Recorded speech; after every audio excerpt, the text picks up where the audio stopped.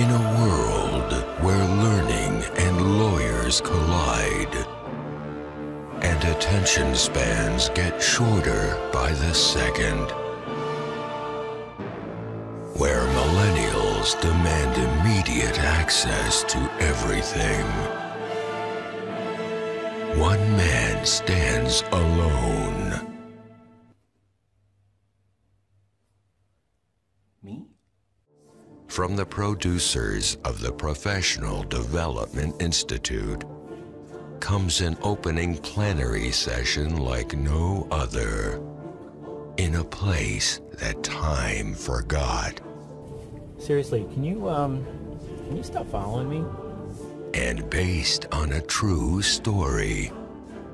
This December, a new kind of learning approach will rise and an empire will fall. An empire? Don't you think that's a little dramatic?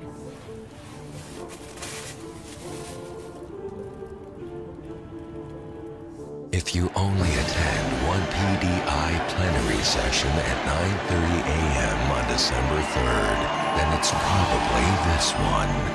The world may never be the same.